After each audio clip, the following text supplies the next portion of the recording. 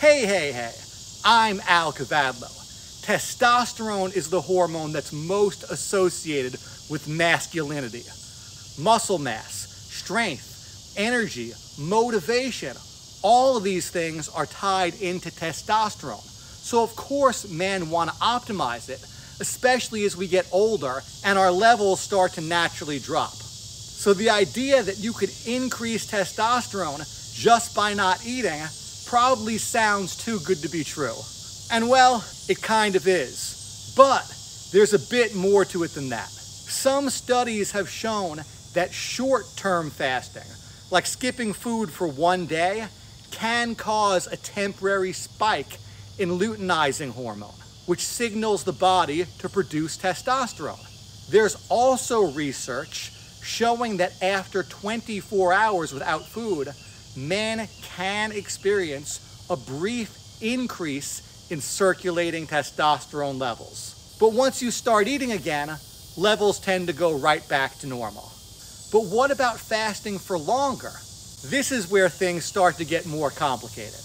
By day two, your body is likely shifting into ketosis, which is burning fat for fuel instead of carbohydrates. Growth hormone levels tend to rise, which can support muscle maintenance and fat loss. But testosterone levels do not continue rising. In fact, some evidence suggests they might start to drop, especially if your body perceives fasting as stress. Because chronic stress, whether physical or psychological, is a known testosterone killer. So while a longer fast might help with fat burning, insulin sensitivity, and inflammation, it's probably not going to increase your testosterone. But what about even longer fasts? Say three days or more?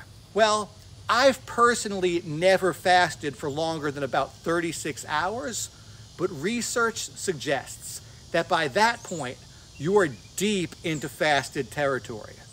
Autophagy is ramping up, which is your body's cellular cleanup system. Your insulin levels are super low, and inflammation is probably way down.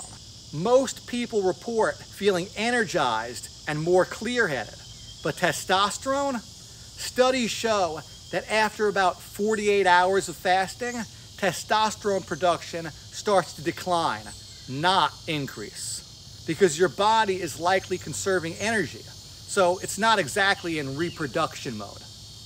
So it seems like 24 hours of fasting is the sweet spot, which if you're like me, makes you think, well, what if I do that regularly?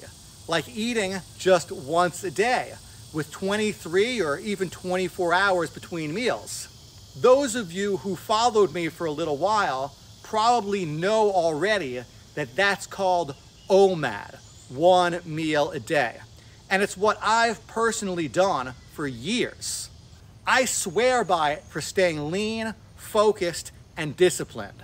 But does doing this every day boost one's testosterone over time? I had my own testosterone measured recently, and I was happy to see that I'm in the upper end of the healthy range for men aged 18 to 39, and I'm almost 46. Which brings me to this video's sponsor, LabCorp On Demand. They make it super easy to check your testosterone levels and a bunch of other key health markers without having to schedule a doctor's appointment. All you do is purchase your test online, then go to a LabCorp location for a quick sample collection. Samples are taken using the same methods as your doctor's office, and you'll be notified by email when your results are ready. You can view your easy to read results online in your LabCorp patient account. Knowing that my testosterone levels are at the higher end of the healthy range gives me confidence that what I've been doing is working. And it also keeps me motivated to continue showing up and pushing myself.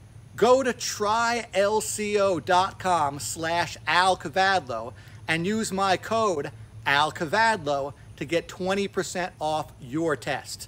Then make an appointment or walk into one of LabCorp's 2,000 plus patient service centers for your sample collection. If you're serious about staying strong, optimizing your performance, and knowing your testosterone levels, head over to trylco.com slash alkavadlo and use my code alkavadlo to get 20% off your test today. And as for fasting and testosterone, here's what we know. Studies on long-term intermittent fasting, including OMAD, do not show consistent increases in testosterone. But fasting can help lower your body fat, improve insulin sensitivity, and optimize other hormones like growth hormone, all of which support your body's ability to make testosterone. So again, fasting might not directly raise your testosterone, but it creates the conditions that allow your testosterone to thrive. Just make sure you're eating enough quality food during your feeding window, especially protein and fat.